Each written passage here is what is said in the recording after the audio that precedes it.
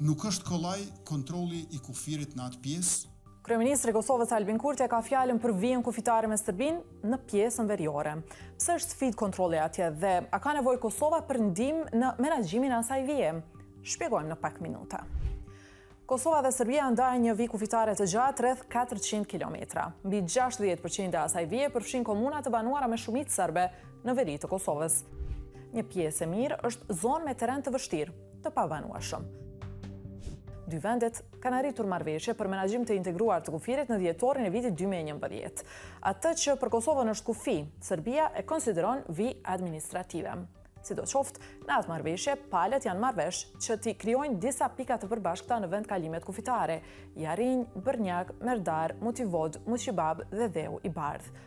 Por Kurti e ka përmendur një pikë tjetër si më problematike. Ai vend quhet Izvor. Në këtë anë është Zveçani, në anën tjetër është Novi Pazar.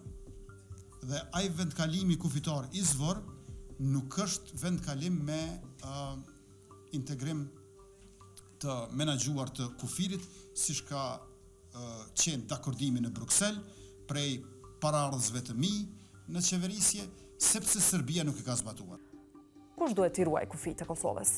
Këtë pyetje e kanë bërë shumë banorë të Kosovës, sidomos pas vrasjes së një zyrtari të Policisë së Kosovës në veri më njëzet e katër shtator. Për sigurinë e kufijve të Kosovës me Serbinë është përgjegjës misioni i NATO-s në Kosovë, KFOR, ndërsa për pjesën tjetër të vijës kufitare, Policia e Kosovës. Megjithatë, sipas një vendimi të vitit 2014 të komandantit të KFOR-it atë botë, policia mund të patrullojë në vijën kufitare Kosovë-Serbi deri në 1 kilometër afër vijës ndarëse. Ekspertët e sigurisë besojnë se gjetja e një sasie të madhe të armatimit më 24 shtator në Banjskë të Zveçanit pas një sulmi ndaj policisë së Kosovës nga persona të armatosur tregon se nuk ekziston kontroll efektiv në zonën kufitare veriore. Atëherë, çfarë duhet të bëhet? është momenti i duhur KFOR-i ta implementojë mandatin e tij, e që është sigurimi që elementet që e destabilizojnë situatën e sigurisë në Kosovë të mos futen n'Kosovë. Mentor Vrajolli beson se është vështirë që të mbulohet gjithë ajo pjesë me prani statike për shkak të terrenit të vështirë. Andaj sugjeron përdorimin e dronëve për mbikëqyrjen e kufijve, vendosjen e kamerave në atë zonë dhe rritjen e presionit ndërkombëtar ndaj Serbisë. në një farë forme Serbia nuk është duke kry punën e vet.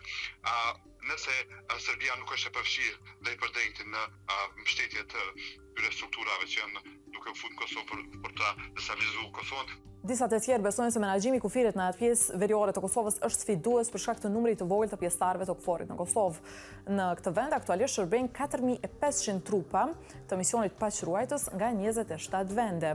Ne e kemi pyetur Qeverinë e Kosovës nëse do të kërkojë angazhimin e KFOR-it apo të mekanizmave të tjerë për rritje të kontrollit në kufirin verior ose nëse ka kërkuar ndihmë më parë, por nuk kemi marrë përgjigje nga ekzekutivi.